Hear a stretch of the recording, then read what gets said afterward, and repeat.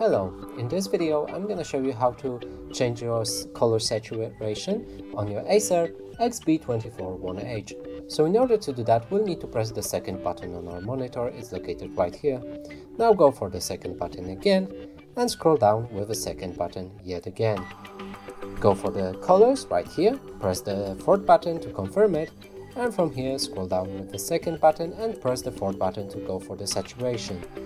Now in order to change our saturation level, we'll need to press the second or third button. So if we press the, uh, the second button, it will go to the right, so that means it will increase the level.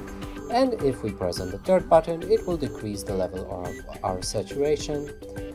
And that's it for this video, hope you like it, please consider subscribing to our channel, leave a like and a comment below.